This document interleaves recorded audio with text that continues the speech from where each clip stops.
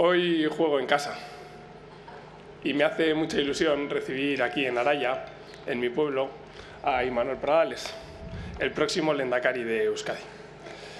Me ilusiona compartir con él no solo un acto como el de hoy, sino el camino que está recorriendo y que le está llevando a, a. Va a ser un gran Lendakari, lo sé, estoy convencido. Tiene las ideas claras, muchas ganas, y está preparado para afrontar los retos que tiene Euskadi en el futuro. No sé si sabíais que es doctor. Lo que seguro que no sabéis es que en su tesis doctoral lo que hace es un análisis del modelo económico de la UTADA. Así que conoce nuestros problemas mucho mejor de lo que podíamos imaginar. Araya es mi pueblo. Aunque no nací aquí, aquí crecí, aquí fui a la escuela, Aquí aprendí a andar en bici, me costó, me costó lo suyo, alguna farola del paseo todavía tiene mis dientes. Siempre he tenido muchos problemas de, coordinación. Empecé a jugar a fútbol, aquí me tomé, en esta plaza me tomé mi primer calimocho, de aquí son mis amigos y aquí empezó también mi relación con la política. Aquí he sido y sigo siendo muy feliz aunque con esto de la campaña pasó por aquí menos de lo que debería, mis compañeros de la Lipendi me lo suelen recordar. Como os decía, aquí empezó mi relación con la política y lo hizo desde muy joven. Quienes me conocéis, en este pueblo casi todos, sabéis que siempre he tenido dos grandes pasiones. Dos, el fútbol y la política. De toda la vida me ha encantado hablar, debatir, también discutir, ¿eh? de política, aunque siempre he intentado no cansar mucho y no ser muy pesado.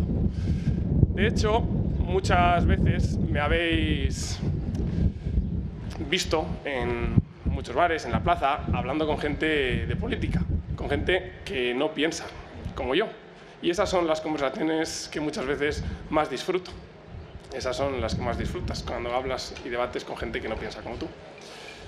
Y hace más o menos un año, por estas fechas, se juntaron dos de mis grandes pasiones, mi pueblo y la política.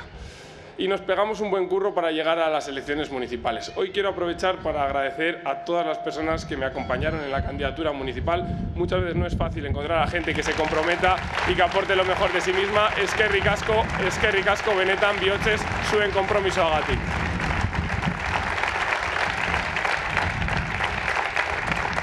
Compromiso que tuvo su recompensa. Y qué contento y qué agradecido estoy todavía del pedazo de resultado que sacamos en Asparrena el pasado 28 de mayo. Cuatro concejales y más del 40% de voto. Recuerdo que cuando yo me afilié al Partido Nacionalista Vasco teníamos un único concejal en este ayuntamiento y un 16% del voto. Hemos subido elección tras elección y lo que nos queda por delante todavía.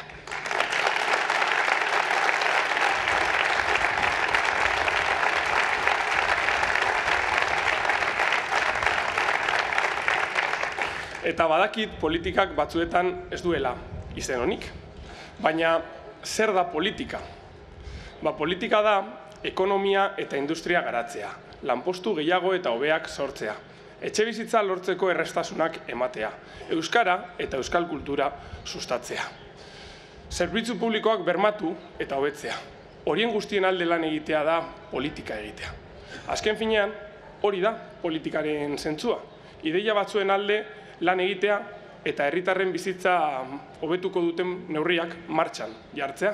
Eta gaur, hemen, araian, nire herrian, ondo ezagutzen nauzuen tokian, hori da balioan jarri nahi dudana, zerbitzu publikoa, errigintza. Obera joateko balio duena, eta ez okerrera, arazoak konpontzen dituena, eta ez arazoetan nahazten dena. Guztiontzako gobernatzen duena, eta ez soilik gutxi batzuentzat.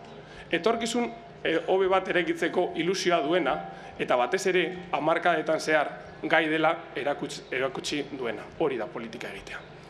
Eta azken horretan, gelditu nahi dut. Decía que tenemos ilusión por construir un futuro mejor y que hemos demostrado durante décadas que somos capaces de hacerlo. Y voy a poner un ejemplo. Osakidetza. Sé que este es un tema que os preocupa mucho. Hoy es el Día Internacional de la Salud. Y sé, como os decía, que os preocupa mucho. Me lo habéis dicho.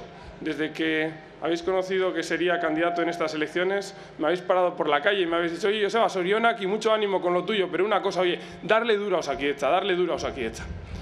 Es nuestro compromiso. Osakidecha ha sido un sistema de salud referente no solo en el Estado, sino en el mundo. Y eso no ha ocurrido por casualidad. Eso ha sucedido porque hubo quien hace 40 años apostó por poner en marcha un servicio de salud público, gratuito y de calidad.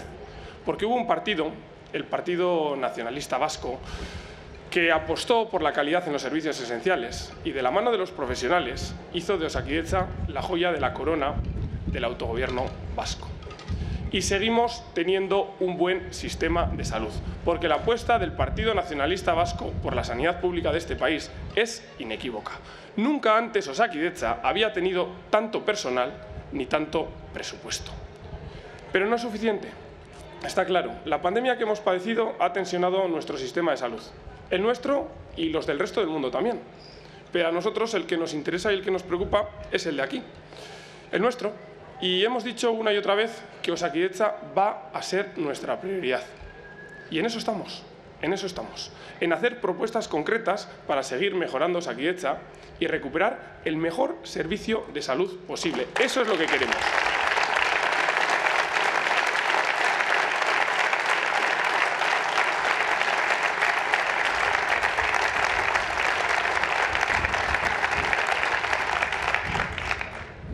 Poco a poco voy aprendiendo que me aplaudís aunque no suba la voz, así que es un buen consejo para los 15 días que me quedan de campaña.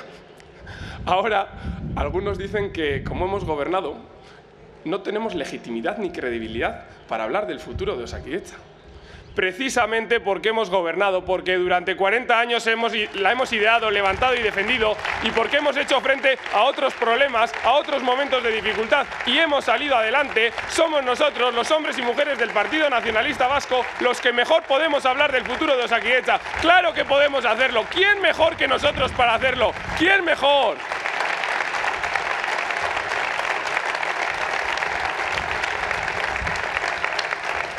Si la subo también me aplaudís. Es un buen... Bien, bien, bien.